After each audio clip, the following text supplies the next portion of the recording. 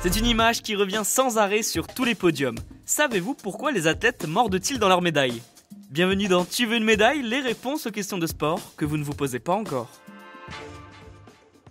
À chaque fois, l'image est la même.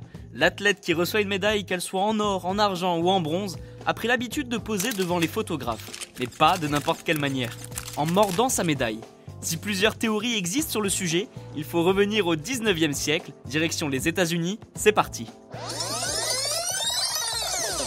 Pendant la ruée vers l'or, lorsque des personnes trouvaient des pépites, ils avaient l'habitude de croquer dans ce métal pour savoir s'il était vrai.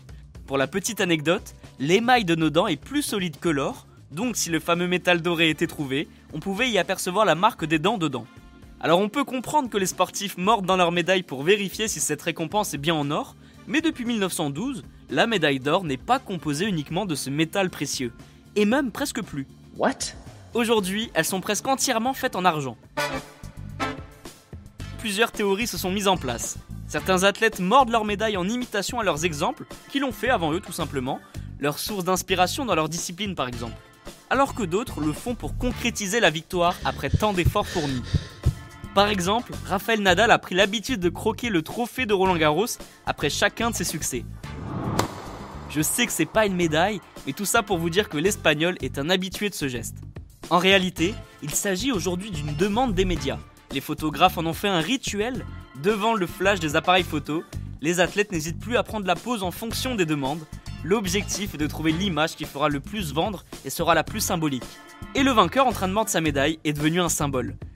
Pour la petite histoire, les organisateurs des Jeux Olympiques de Tokyo s'étaient aussi amusés à rappeler que faire ce geste n'était pas la meilleure des idées sur les réseaux sociaux. Et oui, lors de cette compétition, les médailles furent composées de matériaux recyclés, Malgré ce petit message assez sympathique, ça n'a pas empêché les sportifs de prendre la pause avec la médaille entre les dents. Et bien voilà, vous pouvez désormais expliquer pourquoi les athlètes mordent leur médaille sur le podium.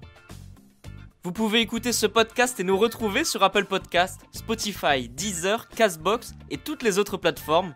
N'hésitez pas à partager, noter ou laisser en commentaire une question. J'essaierai d'y répondre dans un prochain épisode. Je vous retrouve rapidement pour une prochaine question de sport dans Tu veux une médaille. A très vite.